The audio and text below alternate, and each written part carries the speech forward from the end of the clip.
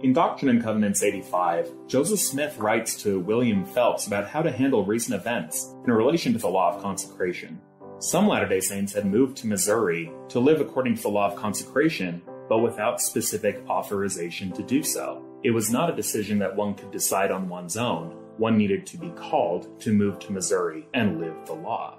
Some, who were already in Missouri, weren't living up to the law of consecration, like William McClellin, who refused to deed his land to the bishop, Edward Partridge. The prophet laid out instructions for what to do according to what he called the still small voice.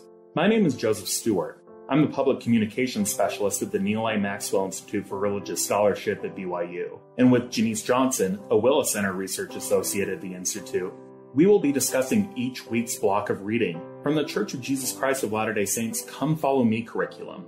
We aren't here to present a lesson, but rather to hit on a few key things from the scripture block that we believe will help fulfill the Maxwell Institute's mission to inspire and fortify Latter day Saints in their testimonies of the restored gospel of Jesus Christ and to engage the world of religious ideas. Hi, Janiece. How are you? I'm good. Thanks. Glad to hear it. So in verse three, Joseph Smith speaks about tithing. What do you think about that? Well, I think that sometimes this is a test of how careful a reader we are. We may read it and say, Oh, I know what this is. I know what tithing is and not think twice about it. But if we think about the date, and this is the date is 1832, November of 1832. Tithing as we know it isn't revealed until we get to section 119, which is in 1838. And so I think that we actually have to think about this, what the Lord means. I suspect that this means a general donation the offerings that the Lord asks of each of us. Of course, the word tithing itself reflects 10%, but tithe in the early church was used in a very general sense prior to the revealing of the law of tithing as we know it today.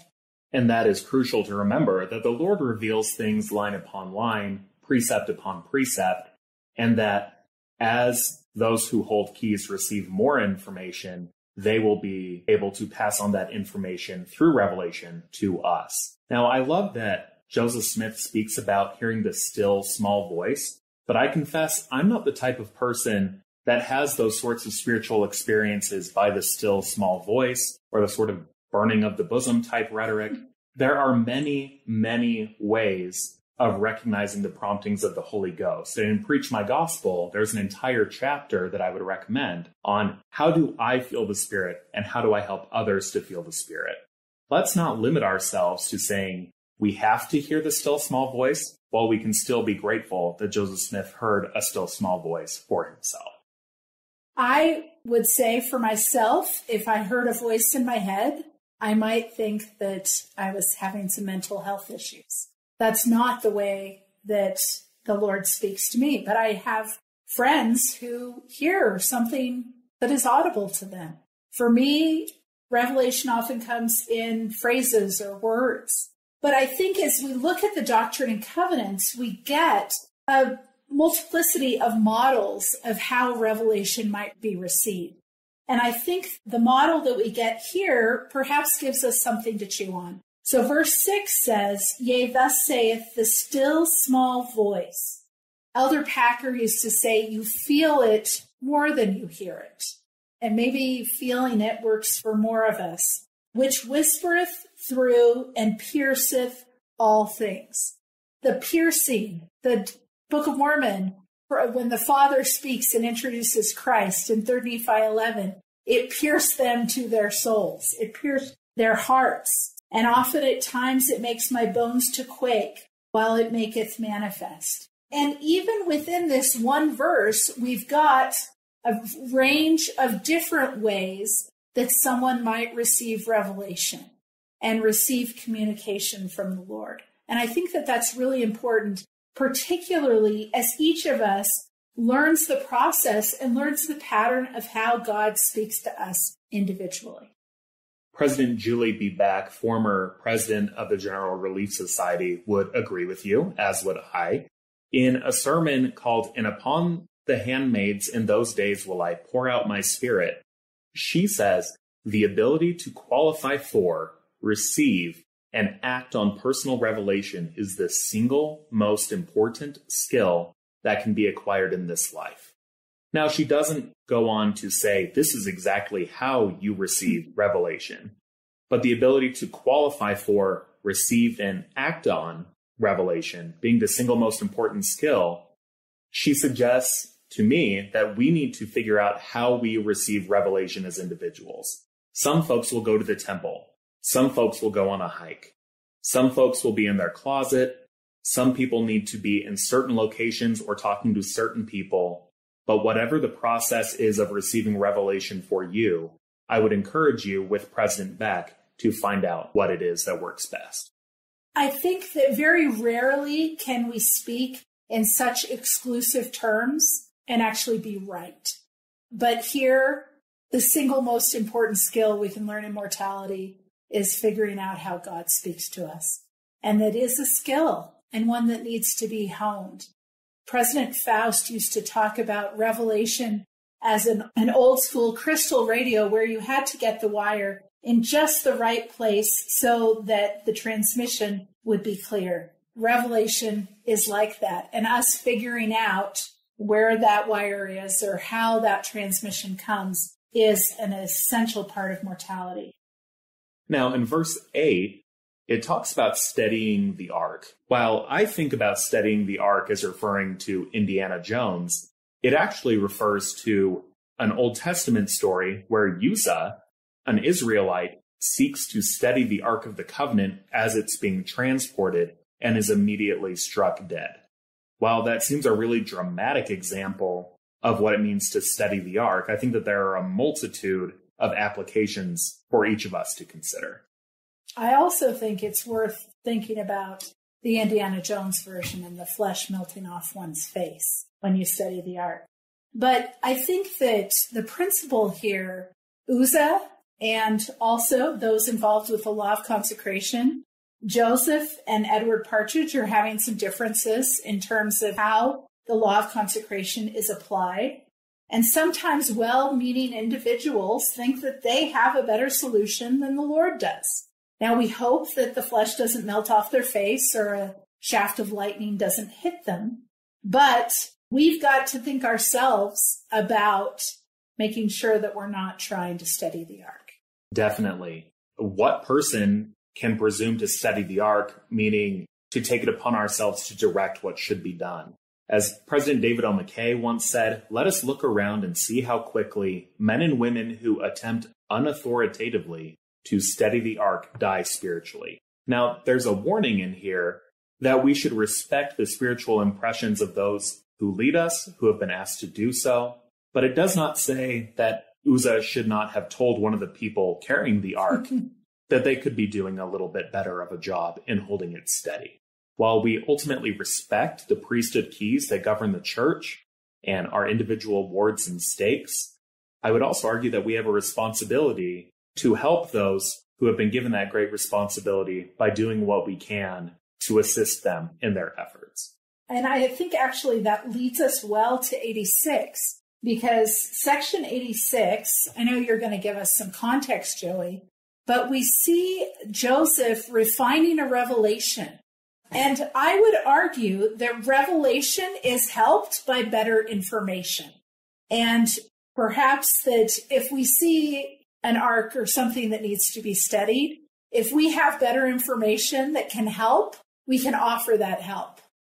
Now, when I was a Latter day Saint missionary, there was a fellow that I served around that wrote to one of my friend's sisters using my name and harassed her. And I did not know this until several weeks later when my friend said, Why are you writing weird things to my sister? To which I replied, I have no idea what you're talking about.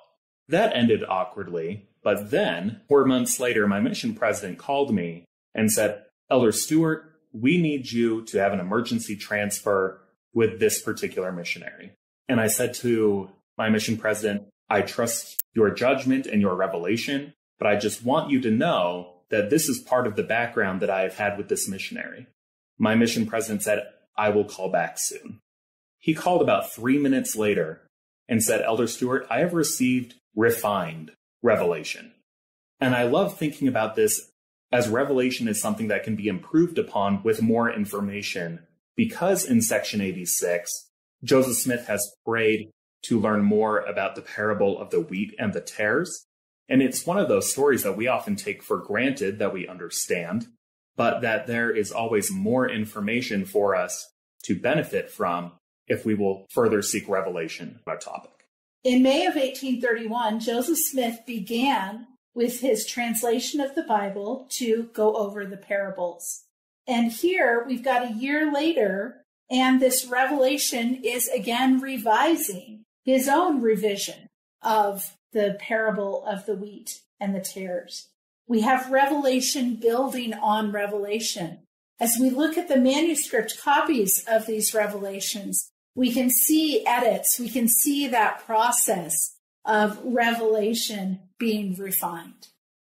It is also something that is encouraging to me that if I'm doing what I'm supposed to and I go forward on the revelation that I have, the information that I have, that the Lord will give more to me where it is needed and necessary.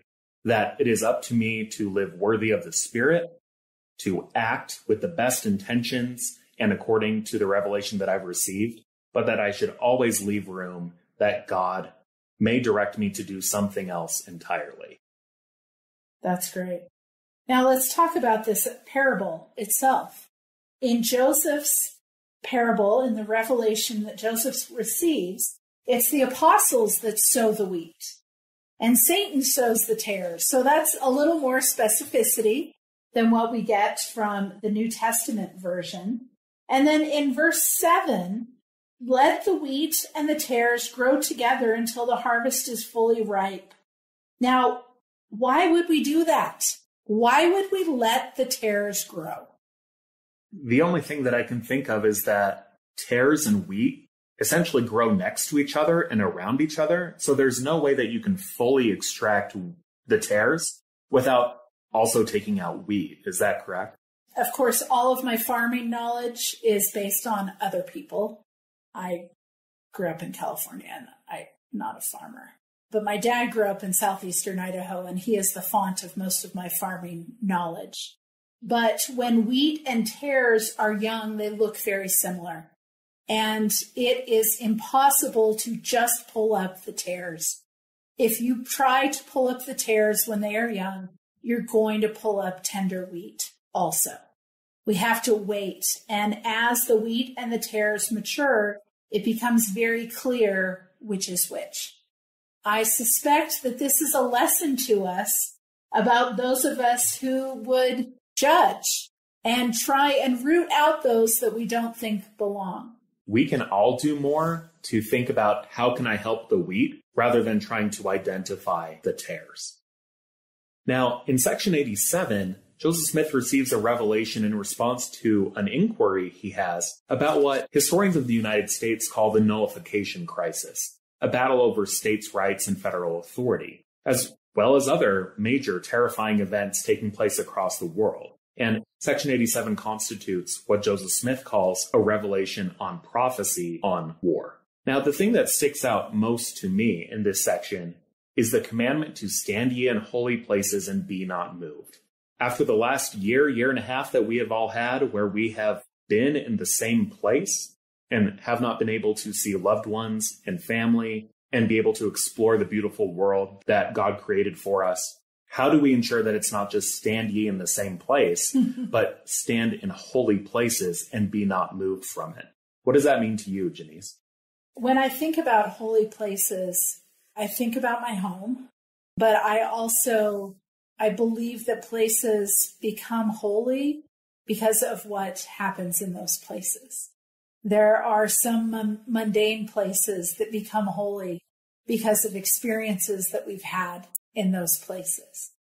And I have had experiences that have made an imprint on my soul in places all over the world, but also just in my own home. So, what some religious studies scholars will say is that the idea of the sacred is something that is constructed. And what I fear is that many believers, including Latter day Saints, will say If something is constructed, that means that it cannot be real. Let me emphasize that that is not true. We have spoken already at length about the need to learn to receive revelation for oneself, that we construct different patterns to have opportunities to receive revelation. Now, standing in holy places, as you said, Janiece, is often about what takes place in a specific location. So I think about a room upstairs in the Harold B. Lee Library at BYU. I could not find this room. I assume it still exists. It's a classroom in the library. And years ago, David Whittaker, who was over Latter day Saint manuscripts and special collections at the library, was speaking to this class. I was TAing. And during the class, apart from what was going on in the class, I had a revelation, a question that I had brought before the Lord and had been waiting patiently to receive an answer. And that answer came. I couldn't tell you what Dr. Whittaker taught us that day, but that ground is holy for me because of the truth God taught me in that place. Thank you so much for sharing that, Janiece. We're going to close with a similar thought by President Sharon G. Larsen. It was Thursday night, mom and dad's regular night to work at the Cardston Temple. I was in my teens, like you young women. My grandmother, who was living with us, was away from home at the time, so I would be alone. As they left, Dad hugged me and said, Now, Sharon, be in good company. I thought, What's he thinking? Doesn't he know I'll be here by myself? And then I realized that's exactly what he was thinking. Standing in holy places is all about being in good company, whether you're alone or with others. It's being where the Holy Ghost is our companion, alone or in a crowd. When we determine within ourselves that we will control our thoughts and our actions and be the best we can possibly be, the best of life will come to us. A holy place is where we feel safe, secure, loved, and comforted. That's how it was in our heavenly home.